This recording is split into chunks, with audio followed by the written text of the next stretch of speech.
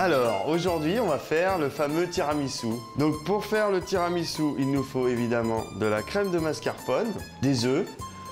On a pris du sucre roux, du cacao, du café et de l'amaretto ou du marsala. Ce sont tous les deux des alcools d'amande en fait.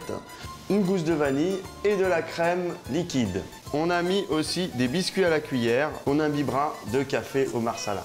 On va commencer par casser nos œufs. Je vais séparer les blancs des jaunes. Je vais en fait blanchir mes jaunes maintenant avec le sucre. Ça fait une espèce de mousse sucrée.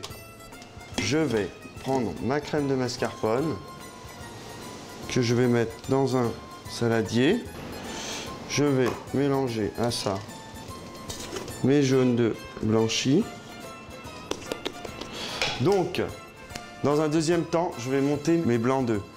Et en même temps, je vais faire ma crème fouettée. Donc, je vais, avec un fouet, fouetter ma crème de façon à faire une chantilly nature en fait, sans sucre.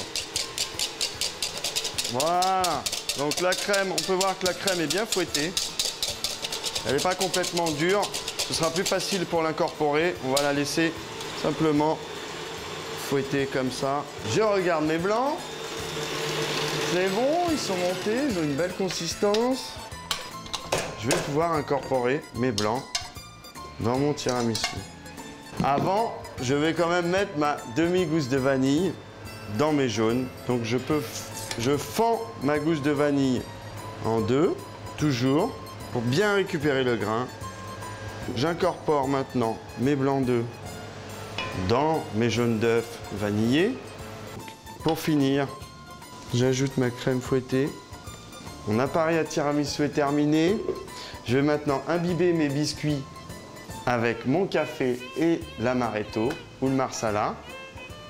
Je mets dans mon café mon alcool.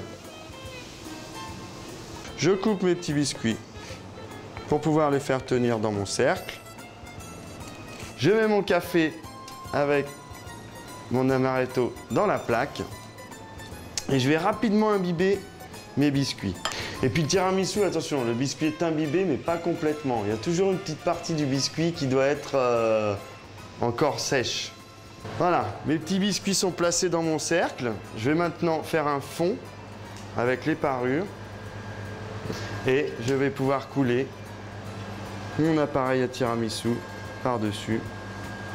Je vais maintenant laisser prendre mon tiramisu au réfrigérateur pendant environ 4 heures. Mes 4 heures sont passées. Je vais sortir maintenant mon tiramisu du frigo et je vais pouvoir le décercler et le saupoudrer de cacao amer. Voilà, vous avez un joli tiramisu, très facile à faire et délicieux.